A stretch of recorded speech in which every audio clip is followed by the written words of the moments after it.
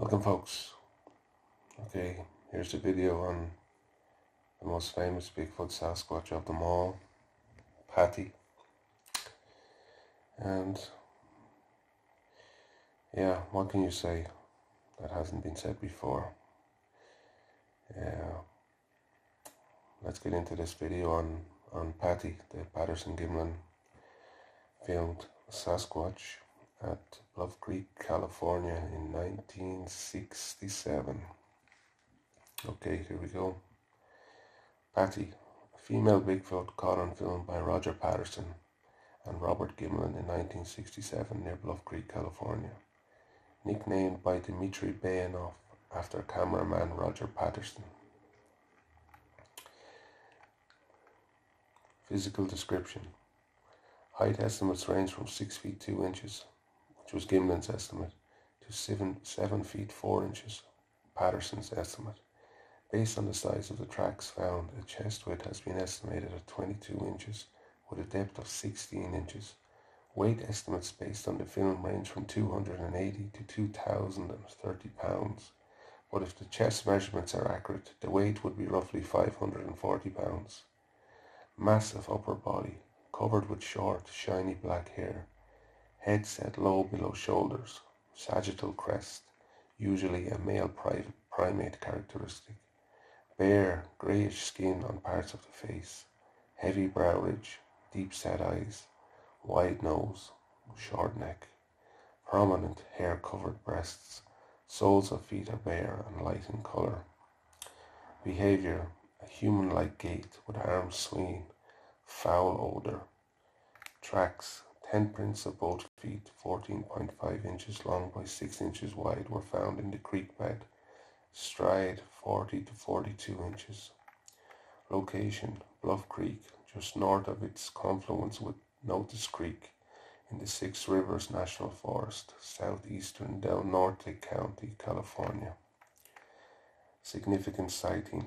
Around 1.20 p.m. on October 20th, 1967, retired rodeo rider and horse breeder Roger Patterson and his friend Robert Gimlin were riding along Bluff Creek in Northern California looking for Bigfoot tracks.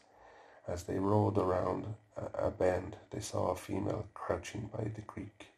Their horses reared up and Patterson's pony fell on its side. He scrambled clear and managed to pull his leased 16mm Cine Kodak K100 home movie camera out of, of the saddlebag. Gimlin covered the animals with his 30, 30 by 6 rifle in case they tried to attack. The creature watched them briefly before it walked away at a deliberate pace, place, pace across the sandbar. Meanwhile, Patterson ran after it and started filming, though he lost his ballast, ballast, balance once he crossed the creek. This portion of the film turned out blurred and jerky, and he neglected to note the film speed. When he when he got a clear view, he stopped running and held the camera steady. At the same time, the Bigfoot turned its upper body sideways briefly to look at him, then moved off into the brush. Patterson kept filming for a while, though trees were in the way. After running out of film, he reloaded. Then the men both tried following the tracks, but lost the trail about 150 feet beyond the film site. Patterson took some footage of the tracks along the creek, but this has apparently been lost. Forester Lyle Laverty took photos of the tracks the following day after a rainstorm, and taxidermist Bob Titmus visited the site on October 29th and made 10 plaster casts of both right and left footprints. He was able to follow the trail and found some body impressions indicating that after the incident, Patty had sat down in some ferns about 125 to 150 yards away, perhaps watching the men. Present status. The film consists of more than 23 feet of color footage, which is 952 frames. The primary stumbling block is that the film speed of the camera was not noted at the time. The Kodak was adjustable to run at variable speeds. Patterson normally shot at 24 frames per second but sometimes sometime after the incident he noted the camera was set on 18. This may have been Patterson's misreading of 16 FPS since there is apparently no setting for 18 on the K100 model. In any case, the adjustment may have occurred accidentally when he pulled the camera out of the saddlebag.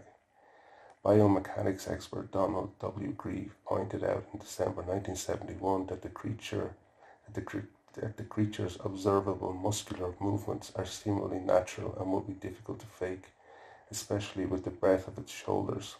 He said even a large human could probably not match the gait if the film speed was 16 or 18 frames per second. In October 1972, Russian researchers Dmitry Bayanov and Igor Burtsev correlated the bounces in the film with the steps taken by Patterson, concluding that the film speed must have been 16 frames per second, or Patterson would have been sprinting along at an unlikely speed. Opinion is strongly divided on whether Patty looks plausibly real or is an improbable mix of human and ape characteristics.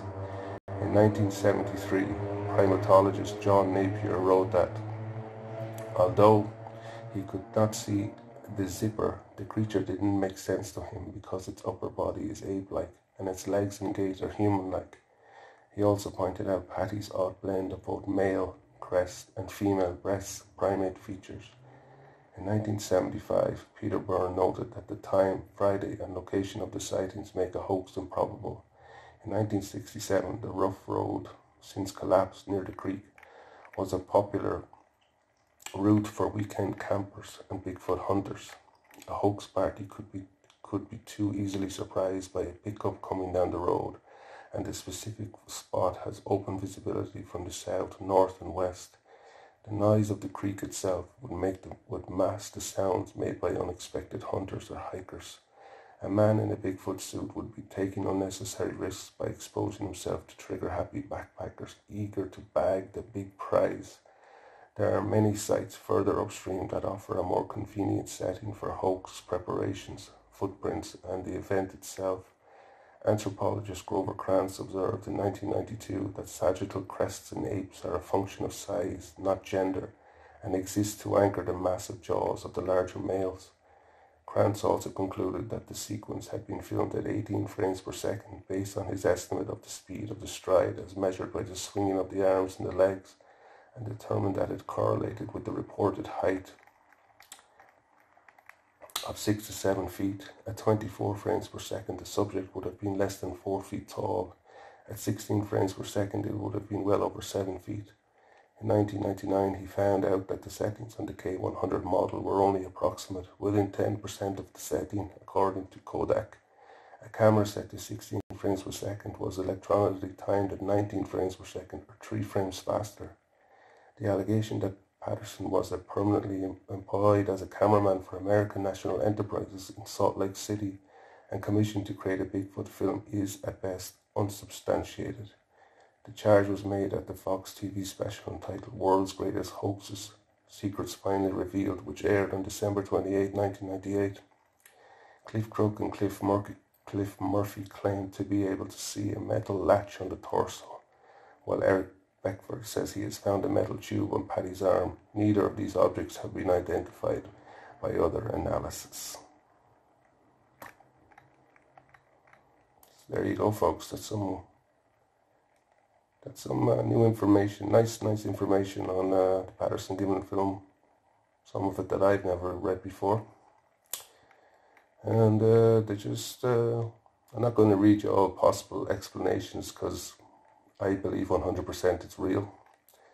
And as they conclude here, the last one, if genuine, the film is one of the best pieces of evidence for the existence of a large unknown hominid in North America. Yes, most certainly. Patty, they exist, folks. They're out there.